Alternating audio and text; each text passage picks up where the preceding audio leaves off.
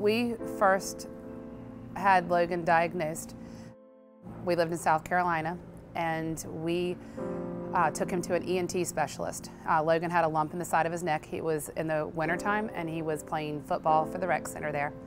And he was at that age where boys' bodies starting to make changes and things. And so the first thought was that it, um, it wasn't a big deal. He had been sick on and off since December, and they were in the process of moving to Florida, and really no one knew what was going on with him. He just kind of had a lump in his neck, and he went to the surgeon and had this little lump biopsied, and everyone thought it was going to be nothing, and told him, oh, don't worry about it, we'll call you if it's anything. And unfortunately, the surgeon called me and said, you know, I saw this kid the other day, and I thought it was going to be nothing, but unfortunately, it looks like he has lymphoma. And I can tell you from that second forward, I didn't really hear much else after the C word. My son was in the room. His stepfather was in the room. It was very emotional. Um, and at that time, he told us that we just needed to grab everything that we had in the room with us and go over to Arnold Palmer Hospital. That within two days a port was going to be placed. That's where he'd be taking his chemo, that he would be admitted to Arnold Palmer um, for the first four plus days. Um, and I just remember it being so much information at one time that I just walked off and went into the bathroom and crashed to the floor and just said, why us?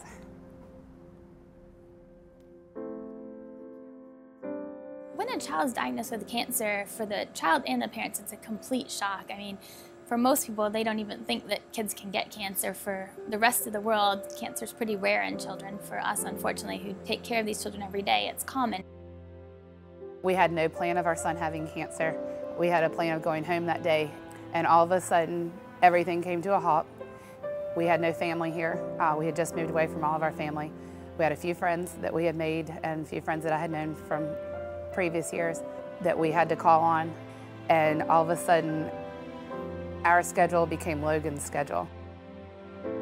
If you've never had a child that had cancer, you really don't know what to expect you hold on to little bits and pieces that they tell you when you come to the hospital, things that may help your child along the journey. And they kind of tell you some children do lose their hair and some children do not lose their hair. Logan did end up losing his hair. So the first morning that my son came running to me in tears telling me that he was losing his hair, um, he was already hysterical. Um, I just remember the lady saying something about the lint roller brush and I took my son in the bathroom and literally rolled off a whole layer of hair from his head. It's really hard when a child loses their hair. Um, that's their um, security, I guess, so to speak. So um, we always had white pillowcases on our pillows, and um, Logan um, requested that we get him dark pillowcases with patterns, and I wasn't quite sure why he said that at first until I realized that a dark pillowcase with patterns on it, you don't see your hair when you wake up in the morning. Because we were new to the area, Logan had only been in school for three months.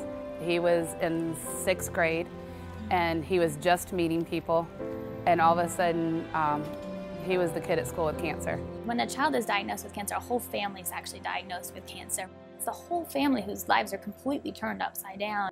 Really, intense treatments, there's a risk of them dying, and this is, is obviously completely overwhelming for a family. Um, it, it's, it's really shocking, there's no other way to put it.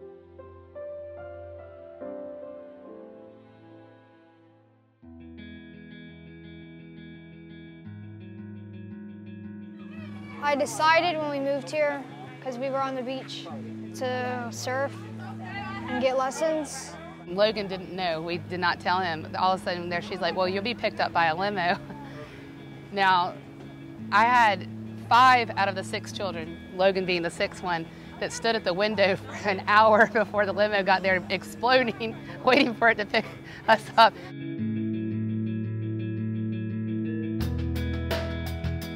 Logan is a great kid. I met him a while ago and never knew that uh, he had any form of illness. And um, once I did, and it was part of Make-A-Wish Foundation, I actually approached the family and said I'd love to be a part of uh, this. Um, it's great. It's a great um, charity. Well, this is the logo that uh, Logan chose and designed. And uh, I changed up just a little bit to fit in the, uh, the SALT logo and everything.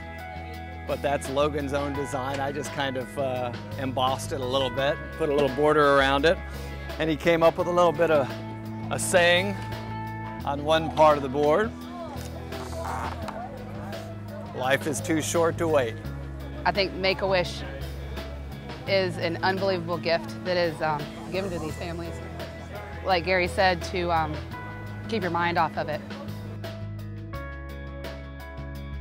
Well, my wish felt granted, felt good. Uh, we just want to thank you all very much. This was really awesome.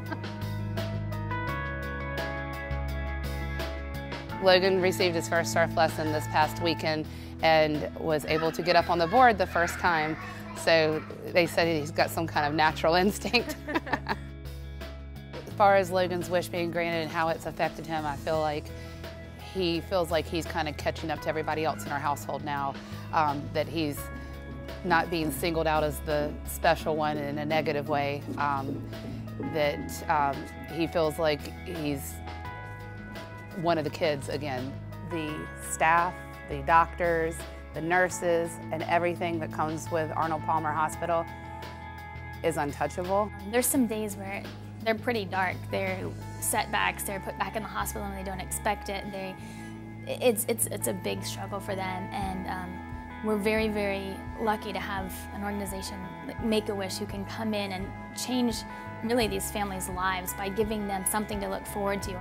I usually kind of start talking about a wish when I see a child struggling and reaching a point where they're just they're frustrated or they're just feeling some despair over what's going on and say, you know what, hey, look, there's something we can think about. You can actually think about a wish. You actually get the power to make a wish, something you want, not something anybody else wants, but something you want, something that you couldn't have otherwise. And you get to think about what you want. And, and that often just like puts a huge smile on their face, even in the darkest time.